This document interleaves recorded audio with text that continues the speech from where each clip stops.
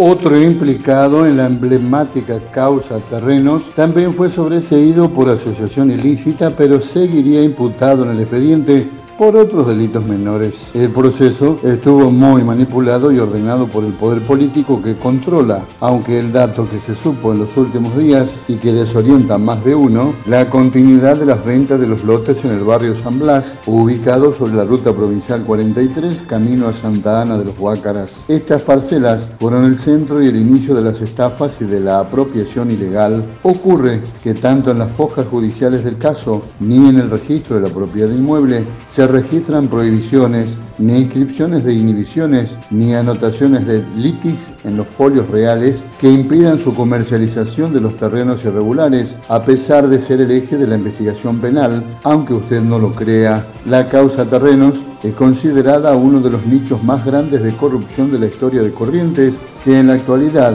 el status quo de la provincia hace esfuerzo para esconderla y que se esfume.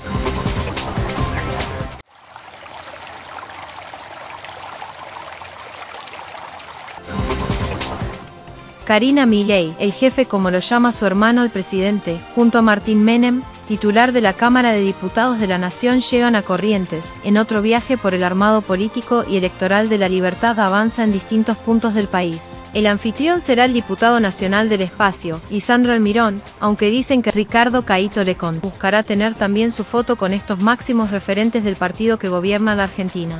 No hay datos si fue invitado. Junto a Carlos Mauricio Espínola, el hijo del exgobernador liberal quiere compulsar por el sillón de Ferré con un sello libertario. El ex medallista olímpico intentaría igual estrategia. Por el momento las riendas de la agrupación la tiene Almirón, dentro de un contexto de una fuerte interna radical y un justicialismo que hace su luto, luego del fracaso del gobierno de Alberto Fernández. Otro Fernández, Emiliano, intendente de Virasoro, sería otro de los aspirantes de la gobernación correntina. Por ahora el único lanzado es el divino Ricardo Colombi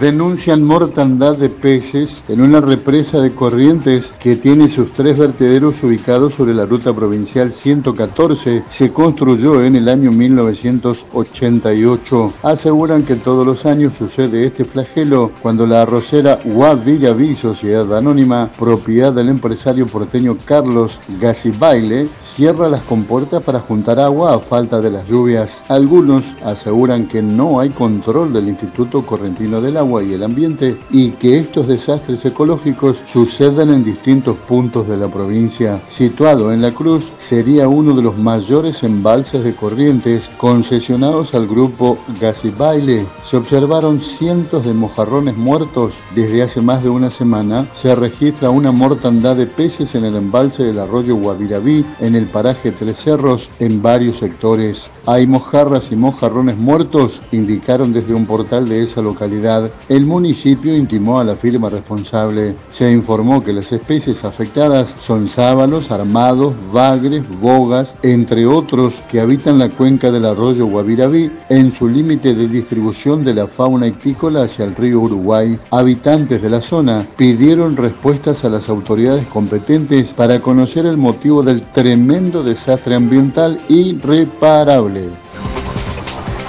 El caso Loan Danilo Peña, el niño desaparecido desde el 13 de junio del paraje Algarrobal en 9 de julio Corrientes, dio otro giro inesperado. Ahora se investiga a la perito María Luisa Lescano, quien participó en los primeros días de la localización del pequeño de 5 años. Lescano, una mujer de 40 años, se presentó como especialista en búsqueda de personas y realizó pericias grafológicas, aunque ahora se duda de su credibilidad. Tras declarar ante la justicia, se allanó su casa en Tunuyán, Mendoza, para incautar su celular, ya que se sospecha que pudo haber falsificado análisis grafológicos y se averigua su verdadero rol en la investigación. Lescano ya había estado involucrada en una causa en Neuquén por hacerse pasar por militar, aunque fue sobreseída por prescripción. En 2018, fue vista en un banco con uniforme. Al ser interceptada, afirmó trabajar en el ejército, lo cual fue desmentido. La justicia de Goya intenta esclarecer si es una mitómana o si alguien efectivamente la convocó para el caso, mientras ella asegura haber sido contactada por el excomisario Walter Maciel, actualmente detenido. Este jueves habrá una mínima de 20 grados y una máxima de 29 con cielo totalmente nublado con posibles precipitaciones. Jornada con posibles lluvias con clima inestable en la ciudad de Corrientes.